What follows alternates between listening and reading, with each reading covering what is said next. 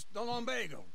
Now, if I overdo it, I, will get a relapse. It's very serious. Get up or get out. Oh, you can be so testy. What is it? Constipation? Guess you're my proof I'll never quite outrun my sins. You got so sanctimonious in your old age.